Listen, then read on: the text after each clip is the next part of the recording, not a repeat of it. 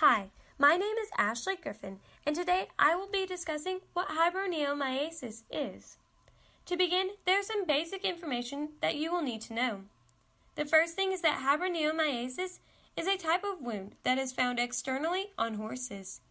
These wounds are also known as summer sores, jack sores, and have several other names. These wounds are caused by parasites known as Habronema or Distrachea.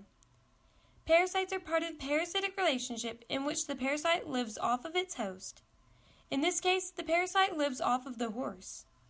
The Habronema or Distrachea parasites are found within the stomach lining of the horse, and as part of its life cycle, the larvae of these worms are passed into the feces of the horse. By leaving the body of the horse, these larvae are then ingested by flies, and the flies carry the larvae back to the horse's mouth, for the horse to ingest them and continue on the life cycle.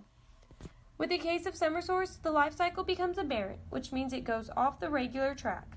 And instead of the horse ingesting the larvae, the flies carry the larvae onto open wounds or mucous membranes of the horse. This aberrant track is what causes the wounds. These wounds become infected and have granulated tissue. Most of the time, they occur on the inner corner of the horse's mouth, lower legs, on the sheath, or on the inner corner of their eyes. Once the wound has been properly identified as a summer sore, treatment is necessary. One of the first recommendations is to deworm the horse using ivermectin. This kills the stomach worms and helps kill the larvae that are present in the wounds. For treating the wound, an antibiotic ointment containing steroid is also recommended. The steroid aids in reducing inflammation, and the antibiotic helps with infection.